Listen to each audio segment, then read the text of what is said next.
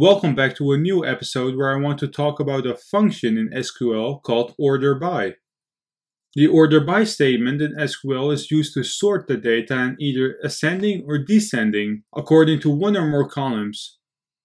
And for the people that don't know what ascending means, that basically means that the numbers or alphabetical letters would be arranged from smallest to highest and descending means that the number or alphabetic letters will be arranged from highest to smallest.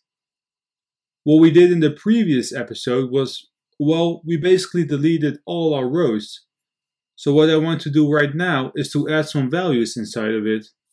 So if we click on our users table, you can see that we only have three rows. So let's click on SQL in the top of our screen. And let's create a insert into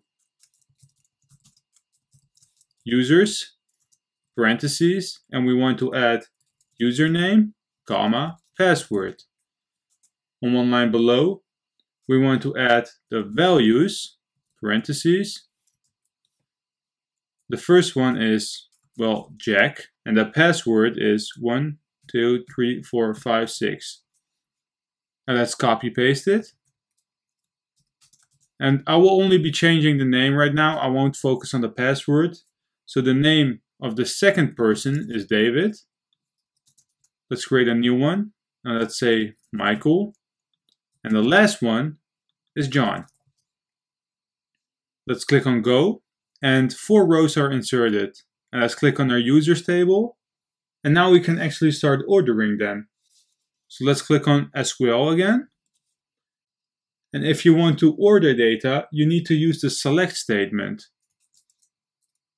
So let's write down select and we want to select everything. So a star from the table users and on the line below we want to order it by in capitals space and now we have to say if we want this to be ascending or descending. So let's start by descending because by default the order by statement sorts the data in ascending order and you do not need to write down descending, you can just use a keyword called D, E, S, C.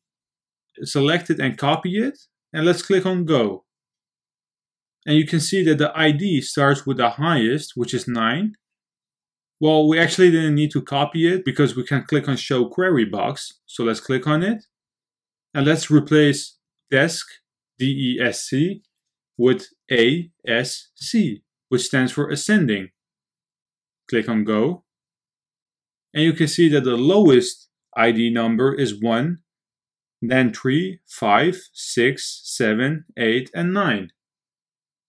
Now, what I want to do next is to order it by a string, so our username. So let's click on Show Query Box again. And instead of ordering it by ID, I want to order it by username. Let's click on Go. And you can see that, well, the D is one of the first letters in the alphabet. So the first three rows are a D, well, the fourth one as well. Then we have a J of Jack and John. And the last one is Michael.